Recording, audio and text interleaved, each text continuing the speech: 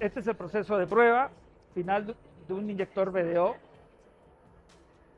con su reporte final código. Este reporte eh, queda registrado en línea en la plataforma de RS y puede ser entregado al cliente para su posterior registro en el computador. Y habiendo probado todo, el equipo genera nuestro reporte y nos genera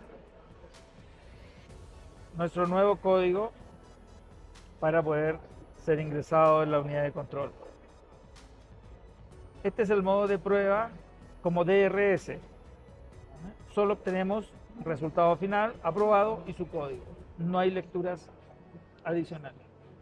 Los equipos CarbonSat los pueden encontrar directamente en nuestro distribuidor para Colombia, Tecnotalleres, que tiene distintas oficinas en las provincias del país.